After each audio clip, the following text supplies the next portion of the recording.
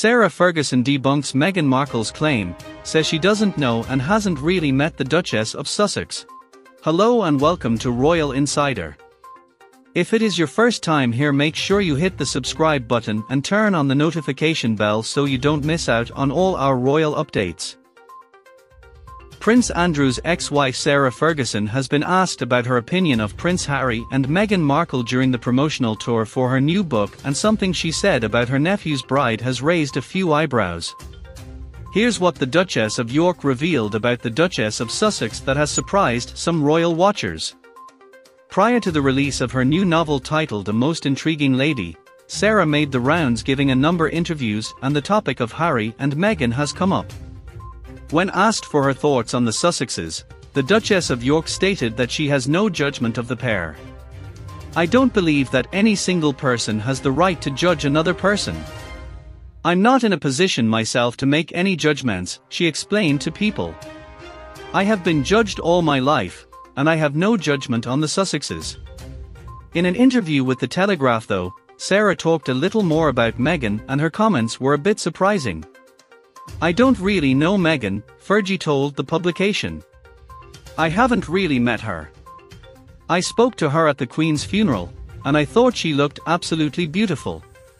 Sarah saying she doesn't really know and never really met Meghan is different from what the former Suits star said when speaking to Oprah Winfrey in 2020. During the Duchess's chat with the former talk show host, Meghan relayed a story about meeting Queen Elizabeth for the first time.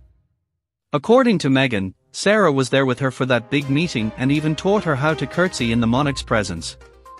Meghan claimed that the meeting occurred at the home where Sarah and Prince Andrew live and it was her husband's aunt who came to her rescue showing how to do a proper curtsy.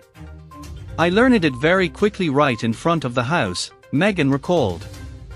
Fergie ran out and said, Are you ready? Do you know how to curtsy? I said, Oh my goodness you guys, and so I practiced really quickly and went in.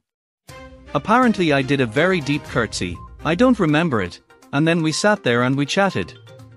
In the Sussexes Netflix documentary, Meghan said that after she met the Queen Princess Eugenie and Fergie congratulated her telling her she had been great.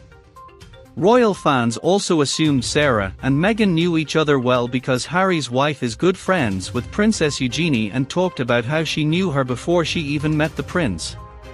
Eugenie and her hubby, Jack Brooksbank, actually stayed at Prince Harry and Meghan's Frogmore Cottage residence for a while when the Sussexes moved to the US. And now that the Duke and Duchess have been evicted from Frogmore, Eugenie and Jack are living there. Okay. Magazine reported that the couple moved in weeks ago. A source informed the outlet that, the Sussexes are disappointed by the move but couldn't be happier that Eugenie and Jack will take it over. They have been staying there on and off for the past few years anyway. They went to see Harry and Meghan last month in California. They took over some small personal belongings left in the property. They were also helping to box up items at Frogmore to be shipped over to California.